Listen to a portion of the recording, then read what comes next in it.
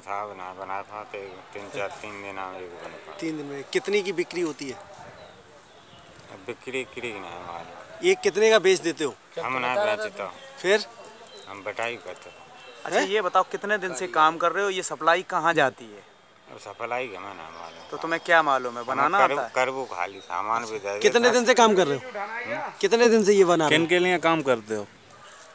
बटाई पे करते हो तो किसके लिए करते हो? हमें मिलिया साहब पंद्रह सौ रुपया दो हज़ार। एक एक असला बनाने के। हाँ। कौन बनवाता था तुमसे?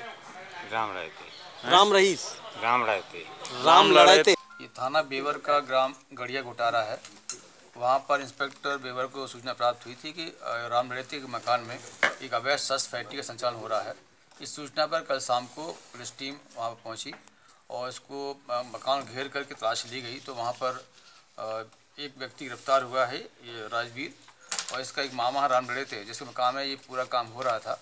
वो वहाँ से भाग भाग गया है। अ, मौके से अ, चार तमंचे तैयार और करीब आठ तमंचे अध्ययन बरामद हुए हैं। इसके अलावा जो है पूरी सस फैक्ट्री का उपकरण बरा- बरामद हुए हैं। ये काफ़ी दिन से काम कर रहे थे और इनको कल गिरफ़्तार किया गया। कोई अपनी फरार भी हुआ है सर? कहाँ जाते हैं? ये यहीं सप्लाई करते हैं और डिफरेंट लोगों के बेचते हैं। और इनके पास इनके एजेंट हैं जो इनसे लेकर के इसको सप्लाई करते हैं। कितने व्यक्ति सर फरार भी हुआ है कोई?